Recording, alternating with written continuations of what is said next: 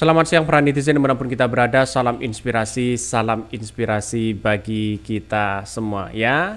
Dari tim ahli KPU begitu menyatakan bahwa sirekap itu ya tidak ada gunanya. Kalau tidak ada gunanya kenapa dipakai oleh KPU begitu? Secara logika kan eh, seperti itu. Dan dan hari ini kita lihat saja bahwa tim ahli ya dari eh, KPU sendiri menurut saya pribadi uh, sudah blunder begitu kan ya. Bahkan dibalik ini dibalik dibalik ini semua begitu kan ya. Si rekap itu uh, maksudnya apa? Kok kok uh, begitu dimunculkan seperti itu begitu kan? Maka uh, saya katakan sejak awal kalau memang ya si rekap ini adalah uh, ada pengakuan yang kemudian ini tidak ada gunanya maka kenapa kok dijadikan sebagai acuan? Bahkan bahkan satu sisi begitu si rekap itu ya dengan cihasil eh, maaf dengan rekapitulasi yang disampaikan oleh uh, eh, KPU di situ begitu kan ya hampir mirip mereka. Jadi kalau memang tidak ada gunanya kenapa seolah-olah rekapitulasi yang ada dari KPU ya acuannya itu adalah si rekap? Jadi logikanya kan uh, uh, apa namanya uh, menurut saya pribadi begitu kan ya agak-agak ada nuansa-nuansa yang kemudian uh, bersifat politis begitu ketika uh, tim ahli dari KPU menyatakan seperti itu begitu. Salah satunya mereka ketika mereka di sidang uh, apa namanya di sidang Mahkamah Konstitusi mereka banyak bercerita begitu kan. Bahkan dari MK sendiri mengatakan ya dikritik besar, dikritik habis-habisan uh, apa namanya tim ahli dari KPU ini begitu. Bahkan ya pengakuan dari orang di balik sirekap ini begitu kan, bahkan sampai-sampai tim Amin ya sekakmat kira-kira seperti itu ya. Sekakmat KPU Bawaslu hingga ya 02 tidak bisa berkutik, bebak belur kira-kira seperti itu logikanya logika sederhananya begitu. Maka ini ketika mereka menyampaikan kepada publik di situ begitu kan, justru seharusnya kan uh, apa namanya memberikan uh, titik temu begitu di situ begitu kepada apa namanya kepada uh, masyarakat memberikan kepercayaan terhadap masyarakat tapi malah mereka bercerita ya dengan menunjukkan data-data yang ada uh, justru mereka uh, menurut saya pribadi blunder kepada KPU sendiri begitu kan. Maka kenapa saya katakan seperti itu? Karena nampaknya hari ini apa yang di mereka sampaikan kepada publik uh, dianggap uh, sirekap itu tidak penting. Nah, dan dan kalau memang tidak penting kenapa kok mesti dipakai begitu oleh KPU begitu kan? Bahkan serilkon uh, terus kemudian uh, yang ada selama ini begitu kan acuannya kan uh, cihasil di situ begitu.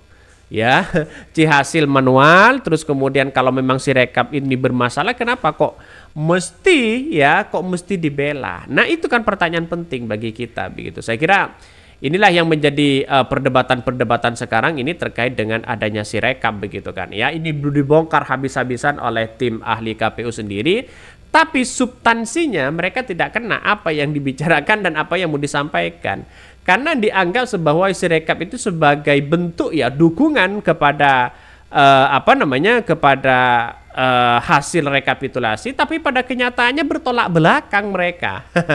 Justru si rekap ini akan menghancurkan uh, di dalamnya begitu kan ya. Bisa saja membuat kebohongan yang ada selama ini. Jadi saya kira ini akan menjadi perdebatan-perdebatan panjang begitu kan ya.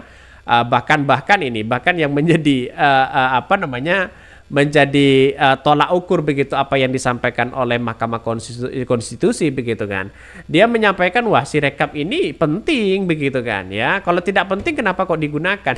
Dan itu yang menjadi pertanyaan penting uh, bagi mereka. Nah, saya menganggap bahwa apa yang disampaikan oleh KPU dan Bawaslu justru ini blunder Kenapa saya katakan seperti itu? Karena dia bercerita terkait dengan adanya sirekap, tapi 100% mereka tidak paham sirekap itu begitu. Jadi dia hanya menceritakan bahwa uh, Sirekap itu baik, terus KPU itu baik, ini baik dan sebagainya begitu kan. Dan karena mereka tim ahli begitu kan dari KPU-nya sendiri.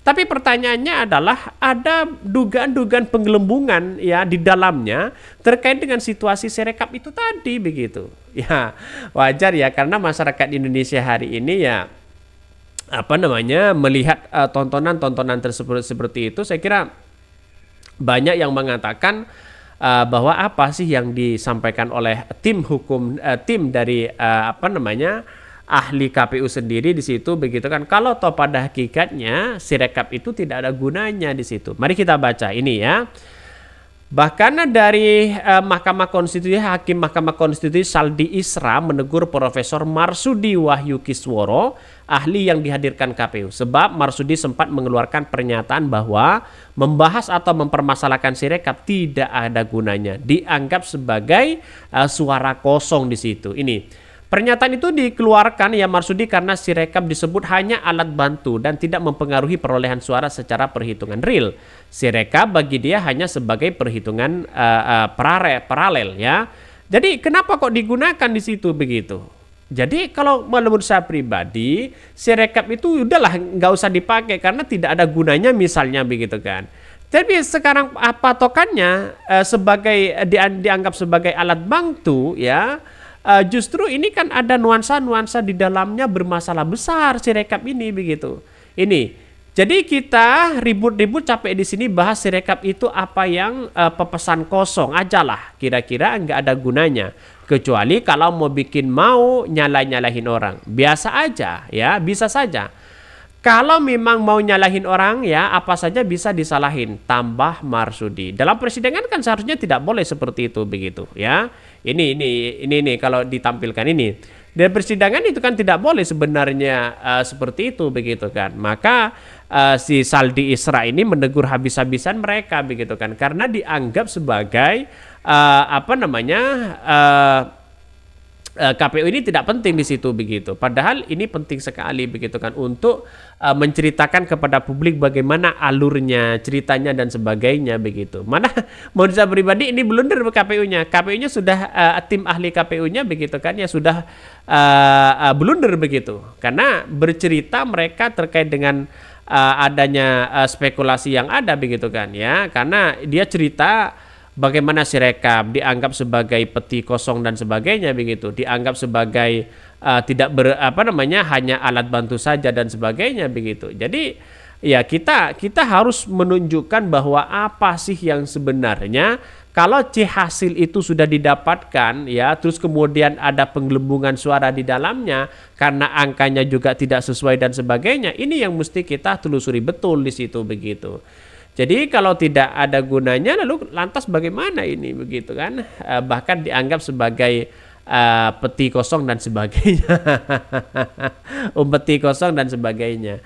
Saya kira uh, apa namanya kalau memang benar-benar uh, menunjukkan ya keseriusan kepada bangsa kita, ya sebenarnya audit saja secara forensik. Mau nggak kalau diaudit secara forensik? Kan begitu logikanya. Ini Bahkan ya dari dari eh, ini ya ini penting kita gelar karena didalilkan ya kepentingan kami untuk menjawab dalil-dalil dari pemohon. Marsudi dihadirkan KPU dalam sidang lanjutan sengketa Pilpres 2024 dia dihadirkan khusus untuk menjelaskan duduk perkara Sirekap yang dipersoalkan kubu Anies Baswedan ya uh, dan Ganjar Pranowo ya. Uh, bahkan ini ini menjadi uh, kritikan besar kepada KPU kalau si rekap ini benar-benar dipakai lagi di situ tahun 2029. Kita tunggu saja. Oke, ya mungkin itu yang kami sampaikan ya tonton terus channel Hodari Podcast Rakyat ini karena ada berita-berita menarik dan viral setiap harinya. Salam para netizen, salam inspirasi, salam inspirasi bagi kita semua. Jangan lupa di subscribe channel YouTube dari Podcast Rakyat ini.